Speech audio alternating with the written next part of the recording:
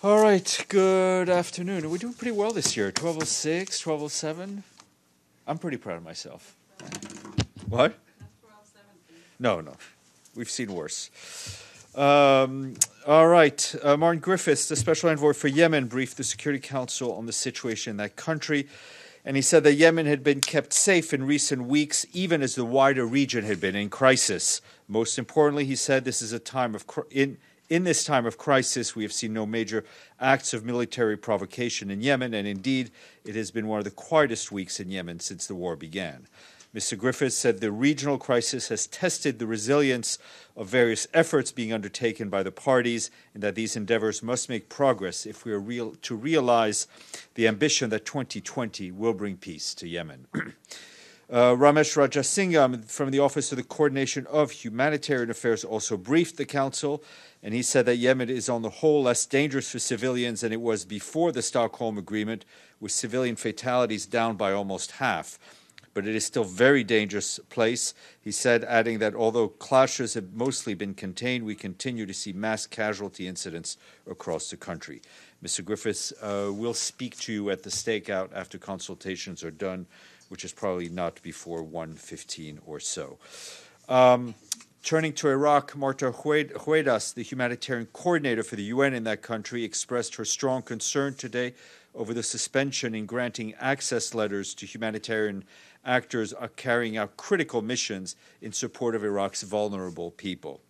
Such permissions were previously issued every 30 days by the mandated governmental bodies However, since November 2019, aid deliveries throughout Iraq have slowed considerably due to the discontinuation of previously agreed upon access authorization procedures and the absence of viable alternative mechanisms. Unless partners are allowed to, to, immediately resume full, unimpeded movements of their personnel and supplies, humanitarian actors' operations in Iraq may, become, may come to a complete halt in a matter of weeks.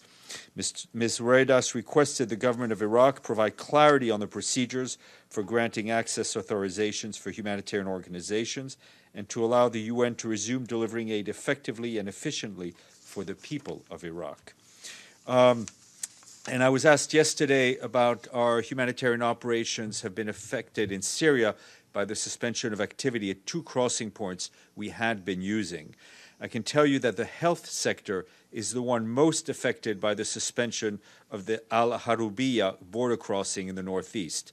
In 2019, 1.43 million medical treatments were shipped across that crossing point to support people in need.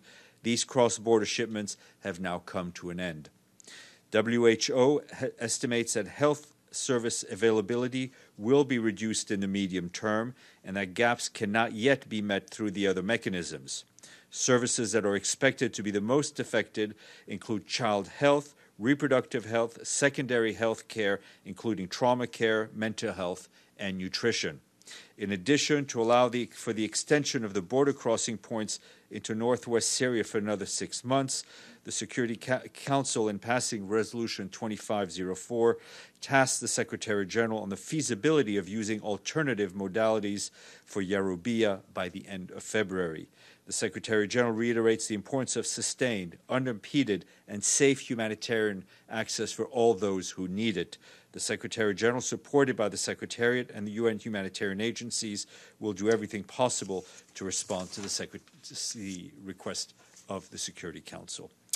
And uh, on Libya, I can tell you that Special Representative Ghassan Salameh is continuing his engagements with Libyan and international uh, stakeholders ahead of the Berlin summit. The Special Representative met with Prime Minister Sarraj in Tripoli uh, yesterday to discuss the latest developments in the ceasefire and the preparations for Berlin. Also, yesterday, he, together with the head of the World Health Organization in Libya, Mr. Salameh, visited a temporary shelter for internally displaced people in Tripoli and listened to their concerns and needs. And an update from the Philippines, where the UN and our partners are assisting with technical and logistical needs of local and regional authorities. Although the volcanic activity has dis- decreased in the last 24 hours, authorities continue to evacuate people from living, living within a 14 kilometer of the erupting Taal volcano. With over 57,000 people relocated as of today to 257 evacuation centers. Humanitarian organizations are conducting assessments and have identified the need to support evacuees and host communities with water, sanitation and hygiene supplies, sleeping kits, and health assistance. The UN stands ready to provide further assistance if needed. And the World Food Program today said that a record 45 million people, mostly women and children, are gravely food insecure following repeated drought, widespread flooding, and economic uh, disarray in southern Africa. WFP warns that crisis deepens. The world must now step up to save lives and enable communities to adapt to climate change. The agency is supporting 8.3 million people in eight countries Zimbabwe, Mozambique, Zambia, Madagascar, Namibia, Eswatini, Lesotho, and Malawi. WFP is urgently calling for an additional $284 million for food needs, stressing the needs for more frequent funding as climate related natural disasters are becoming more frequent. And from Nigeria, the humanitarian coordinator for the UN in that country, Edward Kallon, said today he's deeply relieved that some civilians, including three aid workers who were abducted by non state armed groups in late December, have been released. He said that uh, the humanitarian workers were providing life saving support to Nigeria's most vulnerable people in northeastern Borno state and that they never should have been targeted. Mr. Kallon also voiced concern over the fate of other civilians abducted in the December incidents, as well as others who were taken in earlier incidents. And just a note from Bolivia, as you may have seen, the Secretary General's personal envoy for that country, Jean Arnaud, issued a statement last night in which he commended the ruling by Bolivia's courts regarding the extension of the mandates of the executive and legislative branches and subnational authorities. He stressed that the electoral process to continue, it is essential that all parties refrain from violent action or threat of violence. In this context, Mr. Arnaud joined the rejection expressed by many national actors to the recent statements made by former uh, leader Evo Morales. The envoy also said that authorities have the obligation to protect and guarantee the full exercise of the political rights of all citizens, free from intimidation, regardless of political affiliation. And you saw yesterday also Secretary General met uh, with Makhdoom Shah Mahmood uh, Qureshi, the Foreign Minister of the Islamic Republic of Pakistan. The Secretary General and the Foreign Minister exchanged views on developments in the region. For his part, the Secretary General reiterated the importance of maintaining peace and stability in South Asia through political dialogue, diplomatic solutions, and respect for human rights. And two things to flag um, 4 p.m. in the Economic and Social Council chamber, there will be a screening of Eyes on the Goals, a digital series premiere. This is a series of seven videos, each of, the, each of them focusing on a particular sustainable development goals. The videos will also be released online, and once each video hits, hits 10,000 views, $10,000 will be donated to an organization uh, achieving the SDGs. So please click often. Um, and tomorrow morning at 10 a.m., the Secretary General will preside over a ceremony to mark the 10th anniversary of the Haiti earthquake and to honor the memory of the hundreds of thousands of people who died that day. UN staff, ambassadors, and family members of some of the colleagues we lost that day will gather the memorial wall outside the General Assembly in front of the UN flag that flew over the headquarters of the peacekeeping mission in Haiti. Following the ceremony, participants will be invited to the North Lawn to see the Haiti Memorial, originally set up at the UN mission in Port au Prince, but moved to New York recently. Um, and we want to welcome a few more countries to the honor roll Australia, Iceland, New Zealand, and Poland, which brings us up to. Errol, I wish, for once, I wish what you say is true. Uh, it is 10. No, 10. 10. Let's go. Yeah, 193 while we're at it. Uh, after we're done with this stand up comedy session, uh, Elliot Harris will be here. As you know, he is the UN Chief's economist and Assistant Secretary General for Economic and Development, along with Dawn Holland, Chief of the Global Economic Monitoring Branch in the Department of Econ- uh, Economic and Social Affairs. And they will brief you on the launch of the World Economic Situation and Prospects Report 2020. Before we get there, yes, Madame. Thank you, staff. Two questions. Uh, first, have you looked into the detention of my colleagues in Egypt? Mm-hmm. uh, which happened yesterday. And also, the German foreign minister announced that General Haftar uh, promised to abide by the ceasefire. Uh, you said that uh, Mr. Salameh talked to uh, Mr. Sarraj yesterday. Has he uh, been in touch with uh, General Haftar, and do you have any confirmation from him that he would abide by the ceasefire? No, I don't have any confirmation. Obviously,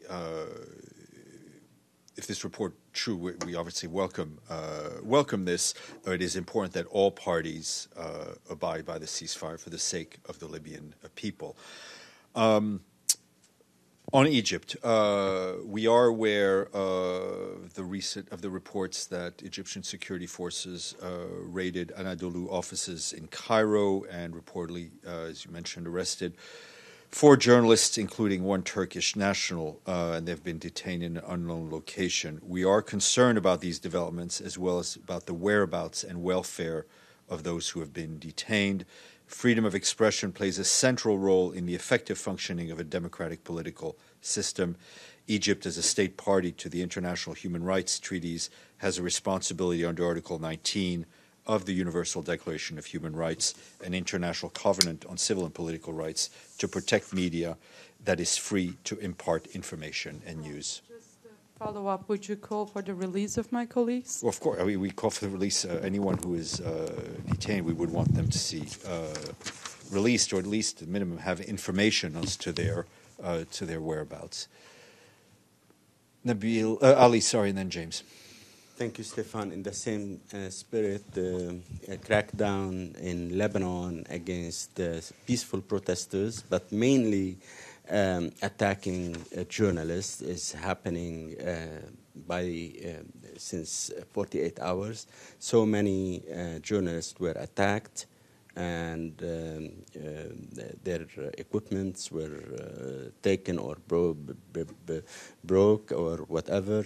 Uh, so, any comment on this Look, situation? What, what we said, what I just said uh, about uh, Egypt, um, obviously applies to every country uh, in the world. That freedom of expression uh, plays a central part in the uh, in the functioning of a democratic system. We are concerned about these reports of violence in uh, in Lebanon uh, and the targeting of journalists. Uh, the right to freedom of expression, to peaceful freedom of assembly, is a cornerstone of Lebanese democracy. and Must be respected, including as part of Lebanon's engagements and obligations under international human rights agreements. Just a, a quick follow up. Do you think there should be uh, accountability for attacks against journalists? It should be, whenever uh, we see the use of force uh, against peaceful protesters and including journalists, these things need to be investigated and people need to be held to account. Madam two questions. Uh, the first one is Nicolas Maduro and his state of state um, invited international organizations to participate and verify the elections, the parliamentary elections.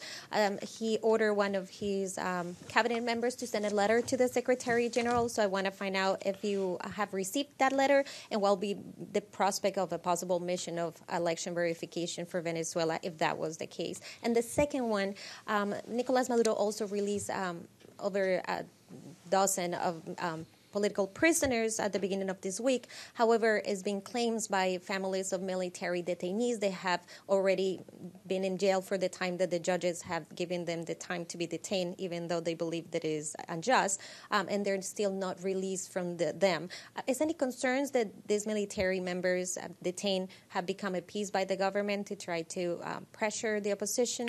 Look, I, let, let, uh, on your first question, uh, we've seen the reports uh, on the, the call for participation to oversee the elections. I'm not aware that any letter has been received. Uh, at any time, a letter, a letter would have to be received, and a request would have to be uh, would have to be studied uh, and see how applicable it is under past practices uh, and laws of the United and, and mandates of the United Nations. Uh, on your second one, let me look into that uh, situation. James, and then Errol. I have a couple of follow ups on Libya, if I can. Yeah. Um, first, um, a number of Security Council members are telling me there are discussions underway if there was a ceasefire that was to properly take hold in Libya to set up some sort of monitoring for that. Mm-hmm. Can you tell us what sort of contingency planning is being done? I'm told that the Hodeida thing is one of the Mm-hmm. potential models, but clearly Hodeida is one city, Libya is a vast country. How many monitors would be required for this sort of operation?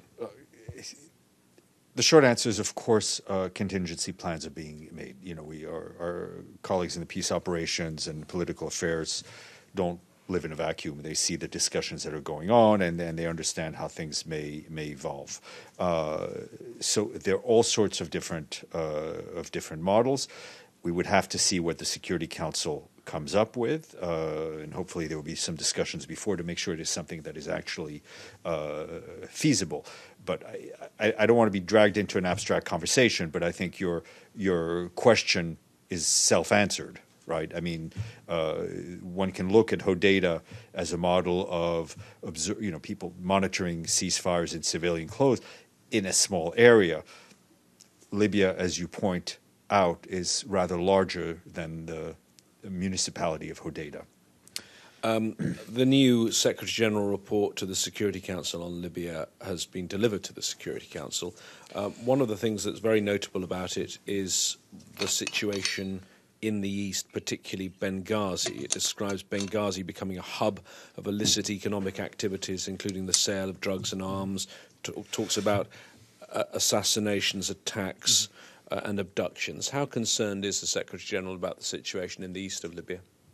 Well, uh, first of all, the Secretary General's report has been given advance copies. It's not yet out as an official document, so um, I'm not getting details of that. But the, the report is in the Secretary General's words, so it reflects. Uh, it reflects his opinion. I think by highlighting that situation, it's a way of expressing his his concern. Errol, and then we'll go back, and then we'll move, and then Maria, who's been very patient Thank as you. Two quick, I would say, follow-ups. First is definitely follow-up on, on my Turkish colleague uh, question on four Turkish journalists. When you say uh, that you are condemning this uh, act of the Egyptian authorities and you express all your concern, uh, what actually did you do uh, to change the situation on the ground? I mean, in the specific situation, did you call what you intend to do? Because I mean, are first of all, uh, contacts are, are being had at uh, at various levels, and I think speaking very publicly about the issue is also one way to act. And a quick uh, follow up is actually since I don't like to be seen as complicit in what is the criticism of you, and besides to, to place it that I was uh, full heartedly for this Secretary General, but he was heavily criticized exactly for giving a broad, through you or himself, broad answers, broad criticism of human rights abusers, but not specific one. It was Kent's wrote uh, words, but many would agree with those, including these journalists. So, what do you say on that? I think the Secretary General has been uh, very strong and clear in his defense of human rights, in his defense of human rights defenders, and his defense of the rights of journalists to practice their trade unmolested and unhindered. Yes, sir. I think I've answered your question. Yes, sir. Thank, thank you, Stephen. Uh, my question is related to the Rohingya refugees of uh, Bangladesh who are now in Bangladesh. There are reports of measles breakout in the refugee camps in Bangladesh in Cox's Bazar, and uh, 428 cases have been reported. Is there any immediate plan to address this I'll have to. problem? Ch- I haven't seen that particular report, but I'm sure we have a huge humanitarian operation in Cox's Bazar, uh, and I have no doubt they're on top of it. But I will get back to you, Maria. Thank you. Steph. Uh, so, uh, almost one week has passed since uh, Iranian mission addressed a letter to Secretary General on uh, the issue of, uh, of denial of uh, U.S. visa to Iranian Foreign Minister. Uh, Mr. Zarif, um, and as I understand, uh, this will be discussed tomorrow at host country meeting. So, do you have any comment by now on this, or probably the SSG has uh, any decisions? Uh, particularly on the topic of um, uh, legal actions. Well, you know, we, we have, uh, and I think in answer to some of the questions you've raised in, in, in the fall and, and recently, uh, raised our concern with the host country uh, about the non issuance of visas to certain delegations. This continues to be a concern to us, uh, and we continue to raise it. And um, uh, and as you said, it is also being taken up by the host country uh, committee. But the act of the visa issuance is not one done by the secretariat; it's done by uh, the host country.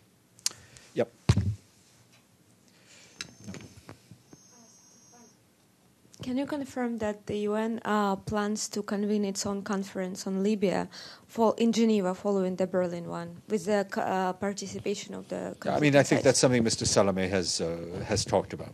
Yes, Nabil, and then.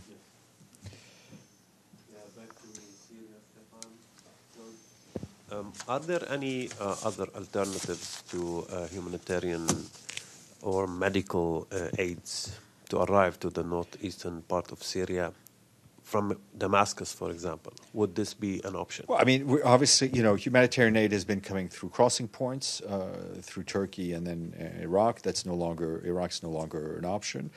Uh, we will continue to find the best ways to deliver it, uh, whether it's through the the cross-border points uh, from Turkey or through Damascus. It obviously also depends on where the, the front so-called front lines are, right? And things shift. So we will always be looking for that one in that is the most effective uh, to get uh, the aid. The most effective way for the aid to get through would be for the fighting to stop. But I mean, have you talked to authorities in Damascus? We're, we're all, I mean, uh, our humanitarian colleagues spend quite a time doing that. And do you think this is doable logistically I, and politically? Listen, maybe? what is uh, you know you're you're operating in a very challenging uh, environment. We're looking at different options, and as as mandated by the. Um, uh, by the Security Council, we're now looking uh, to report back to them by the end of February on the different options. Yes, ma'am. Uh, thank you. Uh, with regard to the Iran nuclear deal and the three European countries having triggered mm-hmm. this dispute mechanism, um, there's now a joint commission, and assuming that they can't resolve this, eventually it will go to the advisory board, which I understand consists of three members one um, assigned by Iran, one by the European countries, and a third one that's an independent member. I'm wondering if the SG's office has been approached about considering people, uh, member, an independent member to no, be this not third. that I'm aware of, but I will check. Zach. Uh, Stéphane, on Monday, um, Mustafa Qasim, who's a U.S. resident as well as an, uh, an Egyptian national, died in um, prison in Cairo. Uh, has the Secretary General uh, heard about this? I think Masood asked about it on Tuesday. And, I mean, um, we, we, we no hope the circumstances surrounding his death are fully investigated. James.